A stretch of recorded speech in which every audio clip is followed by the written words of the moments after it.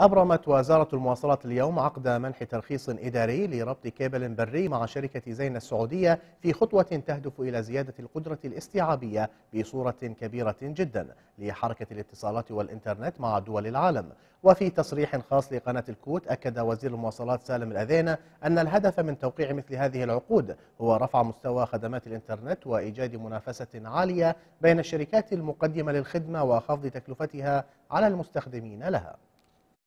اليوم بفضل الله عز وجل تم توقيع عقد آه، شركة زين السعودية. آه، هذا العقد آه، يعتبر كيبل بري بين دولة الكويت ودولة السعودية.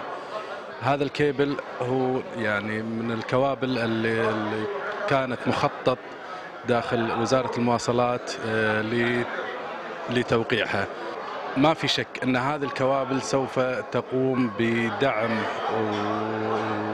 ورفع آه، خدمات الإنترنت بين دولة الكويت والسعودية. مما يجد المنافسة العالية بين شركات المقدمة للخدمة.